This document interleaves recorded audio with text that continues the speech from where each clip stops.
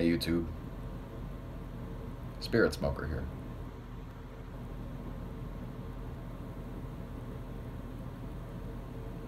Smoking some Burke's Blend from a brick and mortar down in Hartford, Connecticut in my new owl pipe. Check out that beauty. Gorgeous plateau. Beautiful blue stained briar. Black stem. Steve did an amazing job on this one. He does an amazing job on all of them, really, but something about this one just kind of called to me. I needed to get it. Came with this awesome little tamper. No finish on it whatsoever, which I really like because it'll darken up over time. Some cool plateau in there. It looks like a badass claw. Very neat.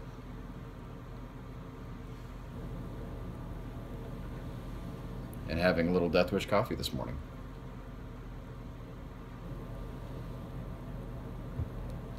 I wanted to make a quick announcement that um,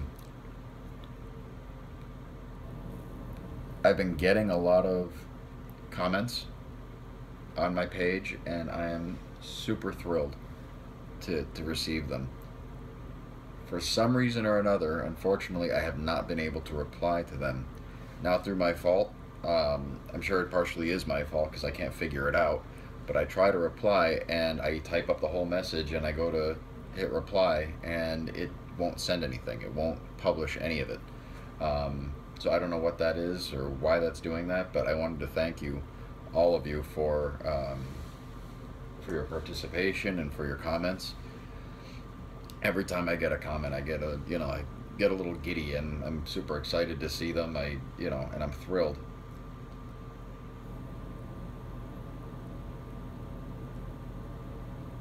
I love having that kind of support. It's very meaningful to me, and uh, it makes you know, I enjoy doing these videos anyway, but it makes it kind of, uh, it makes it just more fun to know that someone actually, you know, is watching and gives a shit.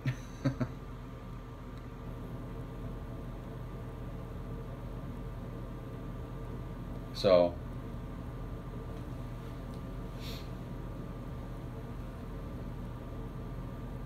with that out of the way, um, real quick, I just wanted to tell you guys about. I, I went down to uh, Connecticut, um, to Hartford for the Hartford Reading Society meeting again this month. Had a great time. It's where I saw Steve and um, Steve and his wife were there. Awesome people, great time. Uh, Jim, great guy. He and I had some good conversation. We all had some good conversation. It was just, it was a wonderful, wonderful time. Um, you know, all the usuals were there and even some new people. It was fantastic. Um, Grateful Piper couldn't make it again, unfortunately. I was hoping to see him. Uh, wasn't there. That's all right. Can't make them all right. I probably won't be making them anytime soon because of my new work schedule. I finally got scheduled for what my actual schedule is going to be, and it's going to be second shift. So that kind of takes out a lot of the social aspect of life, unfortunately.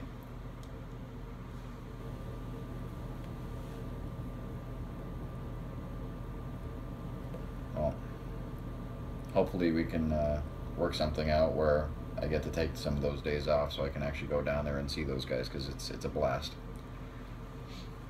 Got some Stonehaven from Steve fantastic blend. If you've never tried it, definitely give it a shot. Apparently it's the same makers as Penzance. Excellent, excellent stuff.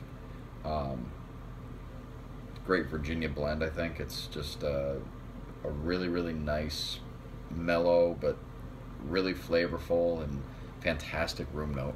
Awesome stuff. For a, for a non-aromatic, it is just out of this world great. That's really good stuff. I was just thinking. I think what I wanted to talk about today with you guys was kind of the idea of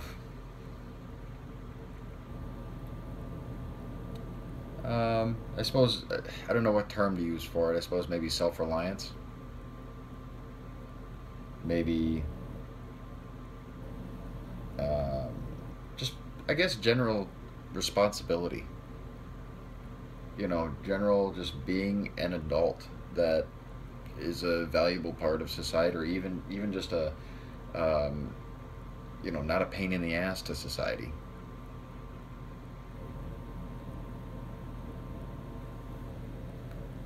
You know working at a at a college campus you see a lot of what's basically going to be coming up for society.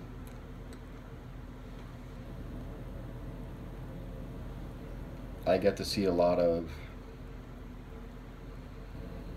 uh, sort of what I see is going to be some ill-prepared individuals getting ready for the adult world because I'll be honest with you, as much as the law says that at a certain age you hit adulthood and things like that, um, the how a lot of people act. I shouldn't say everybody because that's not true. A lot of people are really very responsible even at that age and even before that age. Um, and that's a credit to you know the way their parents raised them or maybe even just their circumstance. But what I see a lot of, what I deal with a lot, is just ill prepared people. And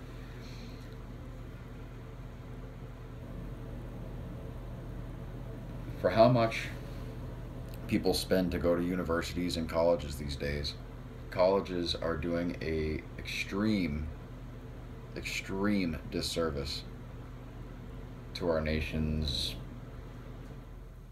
sort of youth or in betweens because again not adults and not children. They're at that very very strange cusp in their lives where they're they are melding they're forging what they're going to be for the rest of their life.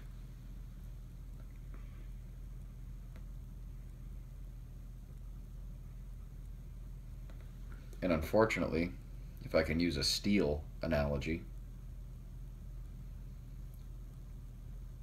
they're not being put through a hot enough flame, a hot enough coal bed, if you will,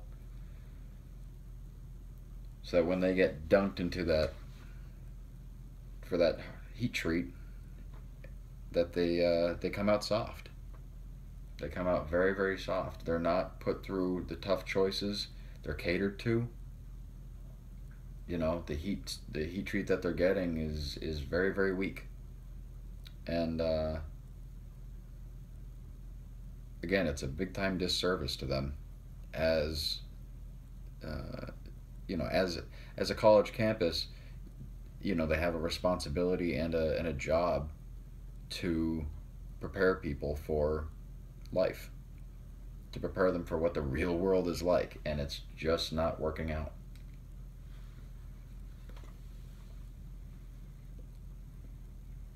The things that I get to see from day to day, just people freaking out over this the dumbest things. And I know adults do it too. I know that people who are, you know, successful have breakdowns and and things like that. I get it.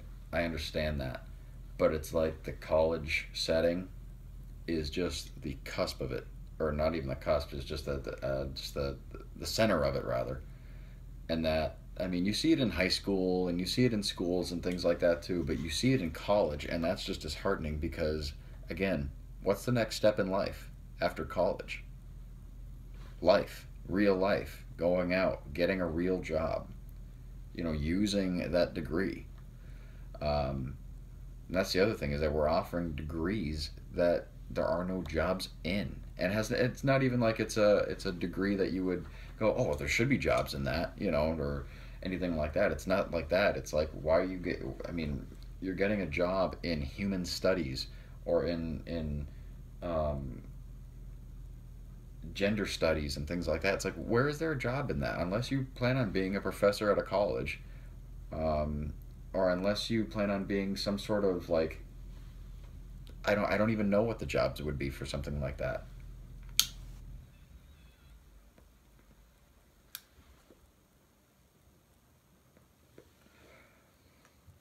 But again, there is no there's no responsibility being taken on anyone's part at this point. You have the college who says, "We want your money." And if you need a social science degree, if you can call it that, for us to get that money, we'll do that.